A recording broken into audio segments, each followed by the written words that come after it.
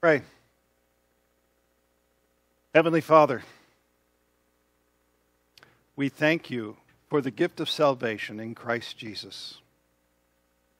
And we pray this morning that through your word, through the power of the Holy Spirit, we are filled to overflowing with the love of Christ. In Jesus' name, we pray. Amen. For those who are just joining us today, we are been, we've been in a series in Acts. And the title of the series is Living Your Faith in Light of the Resurrection. It's actually part five. Forgot to change the slide on that one. So I'm just making sure I've got the other slides in order, making sure I've got the right PowerPoint there. But uh, today, you know, people say, is there ever, was there ever an ideal church? Maybe not a perfect church, but an ideal church. And indeed, there was. In Acts, we find the ideal church, Acts chapter 4. Not perfect because there's, the church is only going to be perfect on the other side in heaven. But on this side, it was probably as close to ideal as one could get what you would find is that there was unity within the church, true unity. There was the loving of Christ Jesus, and thus there was caring and sharing of resources for one another. And there was also, therefore, powerful testimony of Jesus, the risen Lord and Savior. Now, because of this ideal church, the unity, the love, the care, the sharing, the proclamation of Jesus. Well, you know who hates that, right? Satan. And so there was an attack on the church. We've seen Satan be, attack the church from the outside, but now we're going to see the attack from the inside. So today, let us learn, first of all, what we can do as striving towards that ideal but also then protecting ourselves against the attack from Satan. So we are going to start with the ideal church, Acts chapter 4, verse 32. Now, the full number of those who believed were of one heart and soul. And no one said that any, and, and no one said that any of the things that belonged to him was his own, but they had everything in common. So, the first thing that we find here is that there is a unity, a unity of heart and soul. And when I talk about unity of heart and soul, I'm talking about the depth, the breadth, the very essence, that there was harmony among all of the believers. Can you imagine that? Harmony among all of the believers. This doesn't mean that there weren't individual personalities and different thoughts and so forth, but there was actual unity and harmony. So the question is what makes for that unity? What makes for that harmony? And there's really only one answer for this. The answer for that unity is through the love of Jesus Christ. They were filled with who He is, a love of, a love for Him, knowing Him as Lord and Savior, and the wonderful gift that He gave us in salvation, the forgiveness of sin. They were just filled with that love and that gratitude. That, that and that alone is the foundation of Christian unity. Jesus and the love for him has to be that foundation. This is why Paul would write in Ephesians chapter 3, and I'm going to, it's on screen, but I'm going to start a little before then. For this reason, I bow my knees before the Father, from whom every family in heaven and on earth is named, that according to the riches of his glory, he may grant to you to be strengthened with the power through the whole through his Spirit in your inner being, so that Christ may dwell in your hearts through faith. That you, being rooted and grounded in love, may have strength to comprehend with all the saints what is the breadth and length and height and depth, and to know that the love of Christ surpasses knowledge, that you may be filled with all the fullness of God. There's that, that dwelling, the fullness of God that overflowed in them. We also find this in 1 John that fellowship, that unity. If we walk in the light as He is in the light, we have fellowship with one another. Now, look, that unity comes from within. There are a lot of churches that try to create unity from the outside.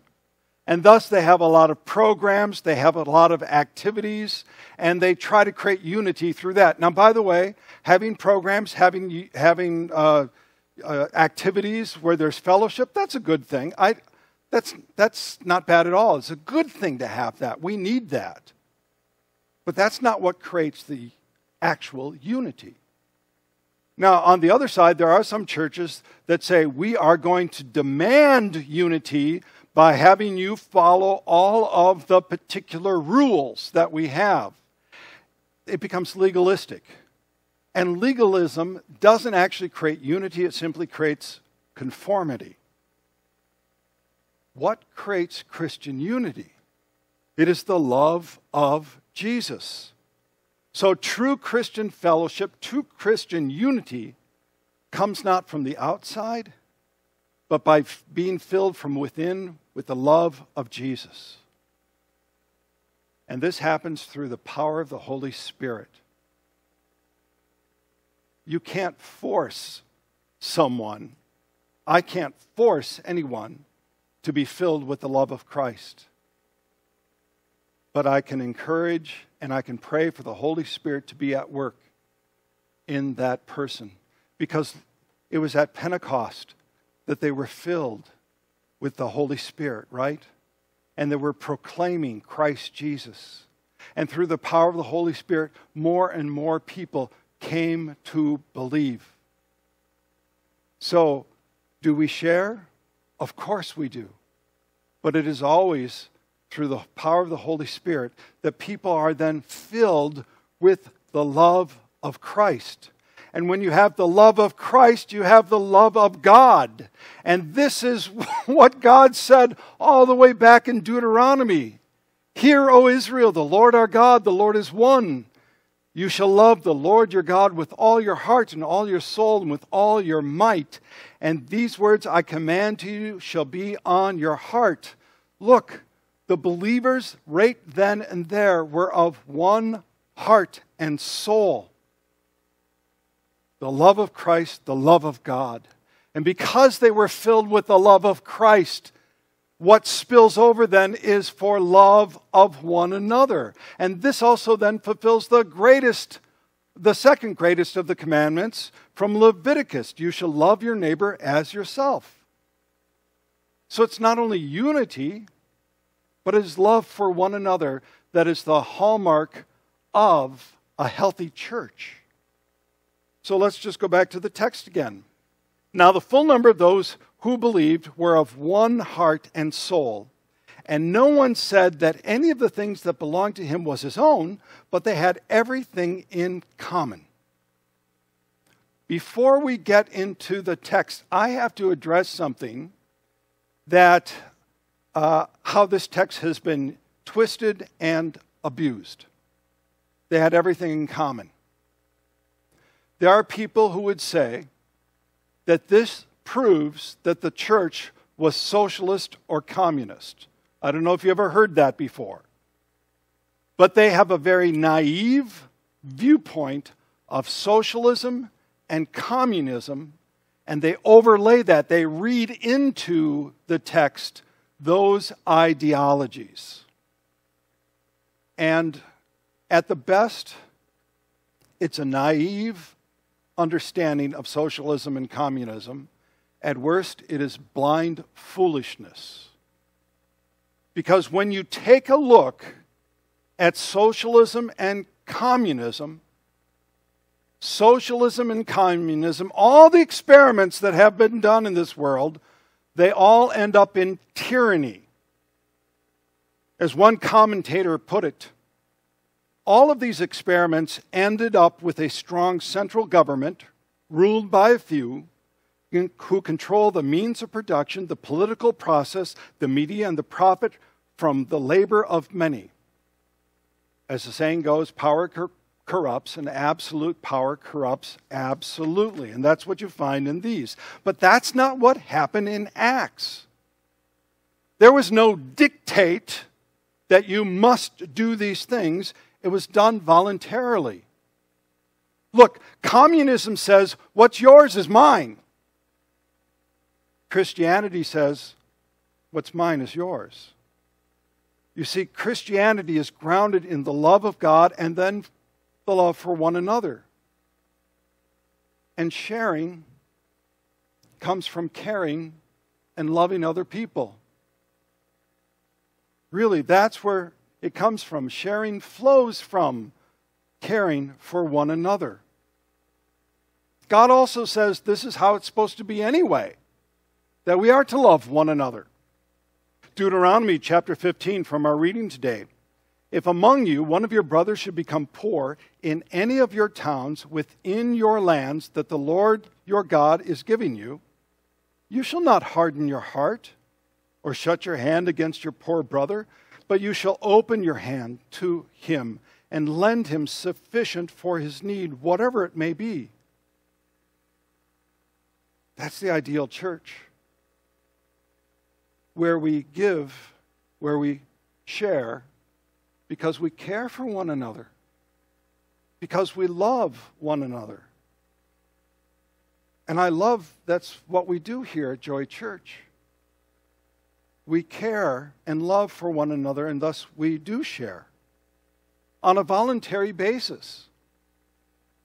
It's voluntary. There's no demand that you must, but people do because of love. So in our text, verse 34 through 37, there was not a needy person among them. For as many were as were owners of lands or houses sold them and brought the proceeds of what was sold and laid it at the apostles' feet. And it was distributed to each as any had need. Thus Joseph, who was also called by the apostles Barnabas, which means son of encouragement, a Levite, a native of Cyprus, sold a field that belonged to him, and brought the money and laid it at the apostles' feet. So think about this. By this time, there's at least, at least 10,000 or more, probably anywhere between 15 and 20,000 believers at this time. That's almost the size, well, actually, in the summer, it is the size of Fountain Hills, right? That's a pretty big group, right? And so they would have ample resources to be able to share with one another. And they encouraged one another, loving one another by doing so. And here Barnabas is introduced. Uh, Luke tells us his name was Son of Encouragement, and he really was an encourager. If you take a look at Barnabas, he played an important role in Acts. So we see that even Barnabas had sold on land. Luke just gives him as an example of one who took the proceeds, sold a field, and then laid it at the apostles' feet. Now, I want to talk about laying at the apostles' feet because we don't have that in our culture, right? And when we start to think about that, we think, are they paying homage to the apostles, right? Were the apostles being high and mighty? And the answer is no. They really weren't paying homage to the apostles. They were simply putting at the feet of those who were going to help disperse and help the needs of others. It would be like if you put it in an offering plate. It's not that you're offering it to me whatsoever. I wouldn't want, you know, that's not it. You give it to the church to be used for the resources of this ministry. Same thing. As a matter of fact, when you take a look at the apostles, they didn't want this administrative activity at all. They, later on, they talk about we need to be preaching and teaching. That's what we were called to do. So there's unity, there's caring and sharing, loving one another, and then the preaching or the testimony of Jesus. These are marks of a healthy church. It says, And with great power the apostles were giving their testimony to the resurrection of the Lord Jesus, and great grace was upon them. Now, last week we talked about boldness, right? They were bold in their witness of Jesus. We talked about boldness, that bravery or courage really comes from trust, from confidence, from assurance of knowing who Jesus is. That he is Lord and Savior, that he suffered, died, and rose again, and that he has ascended into heaven. They had the assurance of good news that they were truly, truly forgiven in Him. And they had the promise of eternal life in Him. And it was real. And the good news filled them so much that they could not contain themselves. And thus, you could say, because they couldn't contain themselves, they were bold. Now, I know all of you at one point have been bold Maybe not in your witness for Jesus yet, but I bet you've been bold. For example, let me give you a simple and silly example. How many of you seen a movie that you really liked?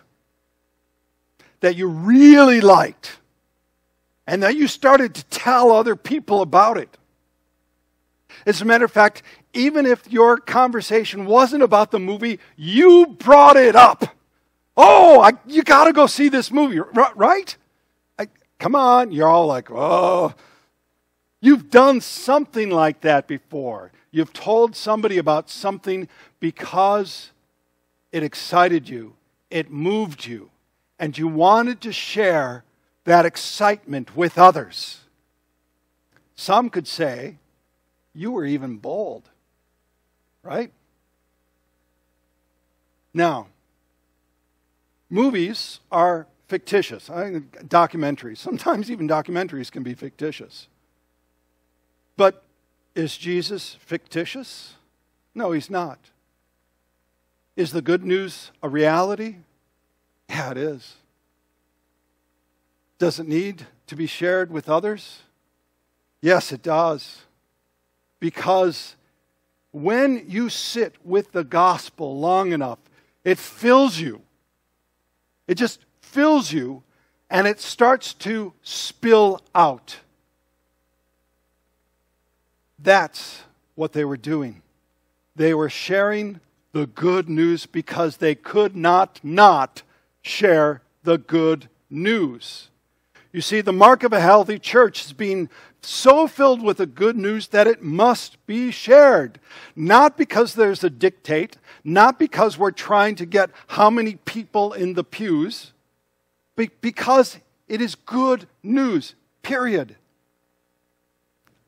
Now, I will try to be like Barnabas and be a son of encouragement as much as I can.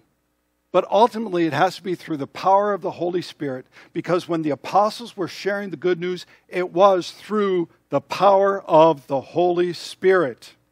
It says, with great power, the apostles were giving their testimony. Now, I want to be clear.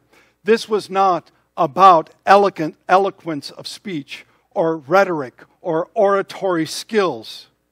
It wasn't about any of that. That's not the power they had. It was about the power of the Holy Spirit working through them and sometimes perhaps even in spite of them. So I gave an example about a year ago, and I want to bring it up again because I think it fits really well here. It's a true story.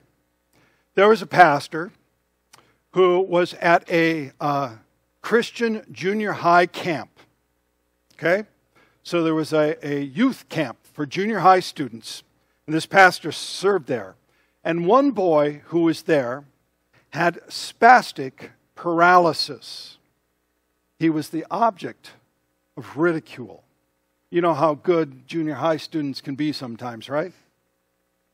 when he would ask a question, when this boy would ask a question, the other boys would deliberately answer in a halting, mimicking way. They were mocking that young boy. And one night, his cabin group chose him to lead the devotions for the entire camp. It was one, of, one more effort to have some fun at his expense. But unashamedly, the spastic boy stood up and he strained and slurred his words, each word coming with great effort. He simply said, Jesus loves me, and I love Jesus. That was all. And conviction came upon everyone in that camp. Many were moved to tears. Some of the men, the young boys, eventually went into ministry because of what that one young boy said. Now, was it an eloquent speech? Was it well crafted with rhetoric, oratory skills? We would say no, looking at it from the outside, but through the power of the Holy Spirit, it was eloquent. It was perfectly crafted. It was powerful. And God's grace was upon that group then. His favor was shown upon that boy and all who heard. And so many came to faith that day. It's the same with the apostles. Look, they were uneducated, right? They were uneducated. They didn't go to school. They didn't go to seminary. None of that. They were fishermen and other tradesmen. And yet, the Holy Spirit worked through them so that others would come to know Jesus. That's the power of their testimony. And you know, quite frankly, I often feel more like that spastic boy than I do a pastor or preacher out in the world. And I pray for opportunities. I pray for that boldness. But more than anything, it's praying for the Holy Spirit to work through me, to use me as He will, to lead others to Jesus. The powerful testimony. So here, can you hear how ideal this church is? Wouldn't you like to be in a church like that? Right? And this is what we're striving for. In a church like that, there was unity of heart and soul. There was caring for one another through sharing, and there was powerful testimony of Jesus. Now, if any church is going well like that, who hates it? Satan. Satan hates it. And Satan had been attacking the church from the outside. There had been persecution from the outside. And now Satan would change his attack and bring it from the inside.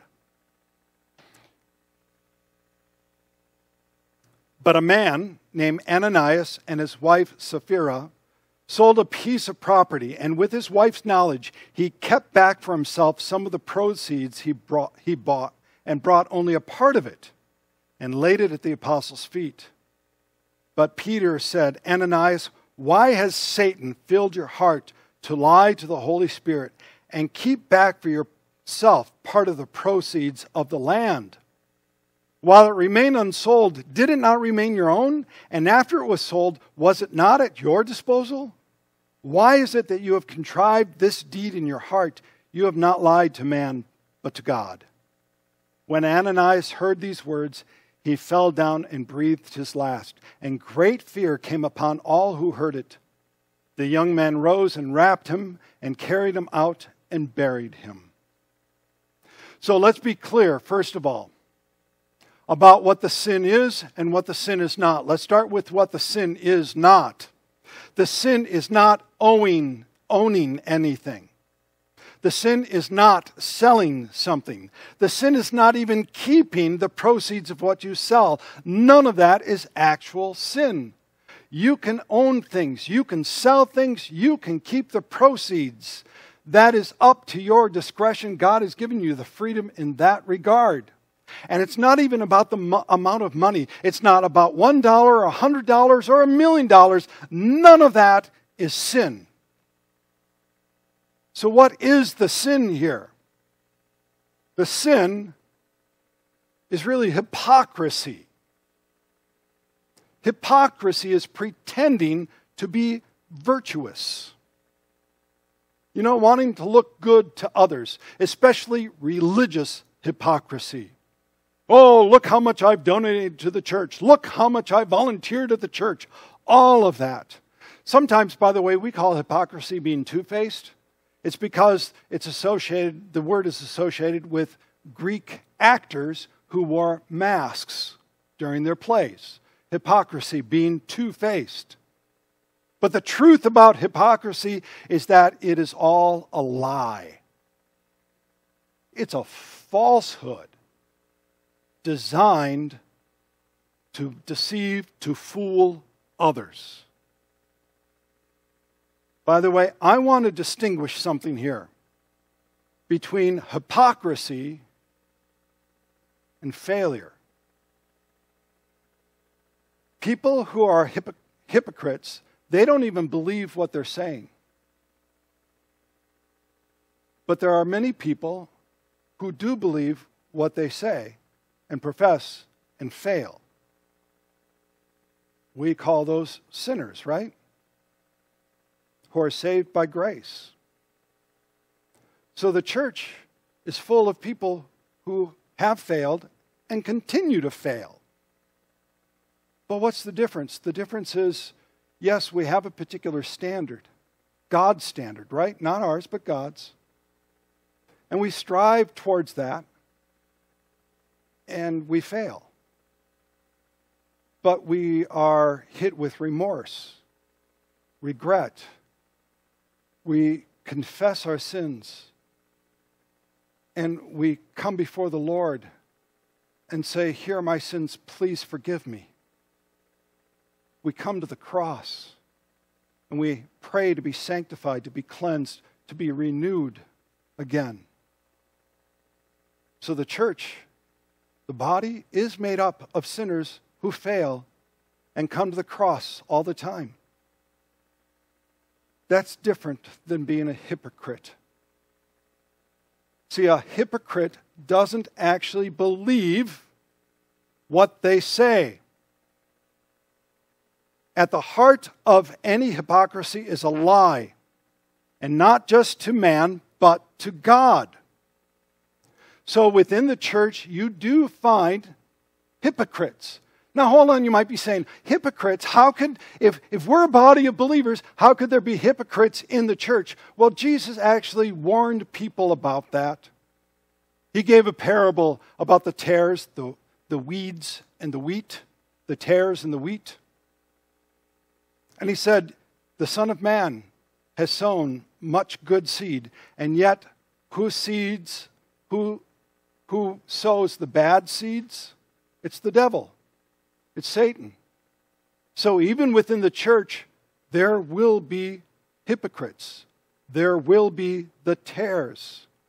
And again, this sin is not against other Christians, although it could be, but ultimately it is against God Himself. Ananias, why has Satan filled your heart to lie to the Holy Spirit and to keep back for yourself part of the proceeds of the land? You have not lied to man, but to God. By the way, notice here, when he says you lied to the Holy Spirit and then you lied to God, he's equating the Holy Spirit to God. God the Holy Spirit. So Ananias is a religious hypocrite. A religious hypocrite is one that God despises because they mock God. If you want to read chapter 23 of Matthew, I would encourage you to do so. If you think Jesus always just said really nice things, read chapter 23. I'm going to read just uh, two verses for you. Woe to you, scribes and Pharisees, hypocrites! For you clean the outside of the cup and the plate, but inside they are full of greed and self indulgence. Woe to you, scribes and Pharisees, hypocrites! For you are like whitewashed tombs, which outwardly appear beautiful, but within are full of dead people's bones and all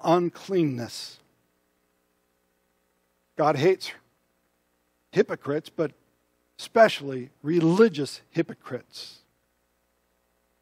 So Peter recognizes this.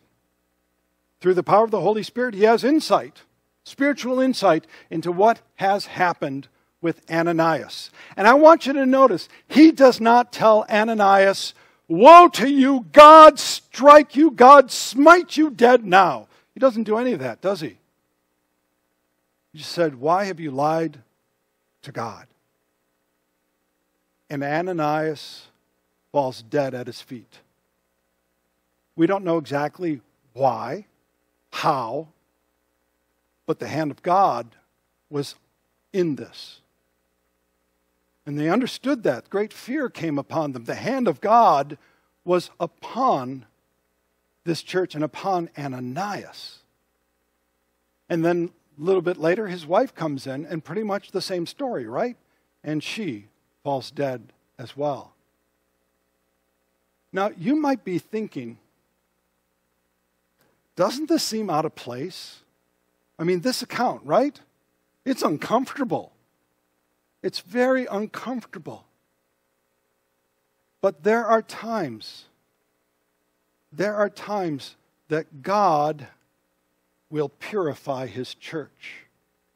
By the way, if you don't think that'll happen, again, just read Revelation. we went all the way through that. God will purify his church. Because who is the church? The church is the bride of Christ. And we see this in Revelation so beautifully the marriage supper of the Lamb and the bride. And as the bride, she is to be spotless. So imagine, imagine what you would do if you, husbands, newly married, newly married, and you are living the honeymoon life, and all of a sudden, an intruder breaks into your home and would take advantage of your wife to desecrate her. Husbands, would you go to any length to protect your bride? You would, wouldn't you? And mothers, if you had children who are a young age and there was a predator coming into your home to do harm to your children, you would stop at nothing to protect your children, right? We are the bride of Christ. God will expel what is unholy to protect what he has declared to be holy, to be set aside. That is our God who loves his church, the bride of Christ. Okay, so how do we apply all of this, right? Because it's a lot. How do we apply all of this? Well, look, the natural tendency is to focus first on the negative, right? To root out any hypocrisy within the church body. And you get a lot of, lot of churches that can become very legalistic about this. And you know what? It is true. We, we should not allow hypocrisy within the church. But the best way is to not let Satan keep a, get a foothold in the first place. So rather than trying to empty something, let's fill it up instead. Let's look to the ideal church. So we should focus on being filled with the love of Jesus, of being his follower, right? Of just sitting. Maybe it's just sitting and just knowing how much He loves you and what He has done for you. And let your heart be filled with gratitude. Turn off the news this week, right? You want to empty your cup of gratitude? Listen to the news. You want to be filled with gratitude? Go to Christ, the cross, and His Word. And then the second is uh, once that spills over, love one another. Really, Continue to grow in loving of one another, of sharing, caring, doing for the other. And then be filled with the good news. Really, is it, is it good news I mean, that's what the gospel means. But is it good news? Is it better than any movie I've ever seen? And maybe, just maybe, the Holy Spirit then will work in you, right? Pray for the Holy Spirit to give you that boldness and opportunities to tell another, come and see. Come and see. And that's the good news for today. And all the people said, Amen.